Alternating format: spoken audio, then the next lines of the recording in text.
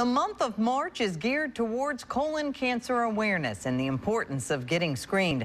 WHLT's Micah Barnes Garcia sits down with a gastroenterologist about the second leading cause of cancer and cancer deaths in our country. If you find colon cancer early, there's over a 90% five-year survival. But if you find it late, unfortunately, that survival drops significantly. With a family history of colon cancer, Dr. Michael Gobel knew he wanted to become a gastroenterologist. Because it allows us to have long-term, meaningful relationships with patients, but also allows me to uh, do procedures where I'm able to do great things like prevent cancer.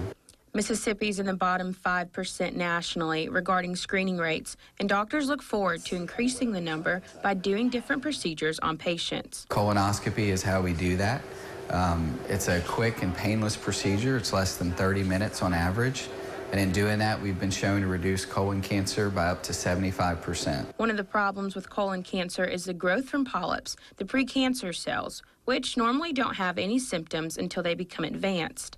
According to Dr. Gobel, the polyps typically show up after the age of 50. The typical uh, average um, cancer risk really increases in your 60s to 70s. So we start in your 50s because we want to get rid of the polyps before they're an issue. And the opportunity is there for us to significantly reduce colon cancer. You know, probably 2017, most estimates would say 150,000 people are going to get diagnosed with colorectal cancer. The majority of those would be preventable. Um, and that's our goal here. Connecting you to Pine Belt News, Micah Barnes Garcia, WHLT 22.